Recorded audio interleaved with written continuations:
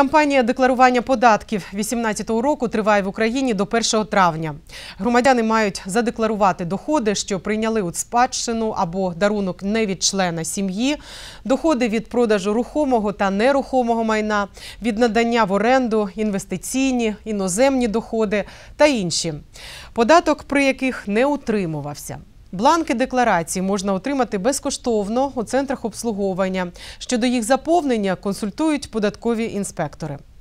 Декларацію можна надіслати поштою або надати онлайн. Для цього треба зайти на сайт Державної фіскальної служби та створити персональний кабінет за допомогою електронного ключа.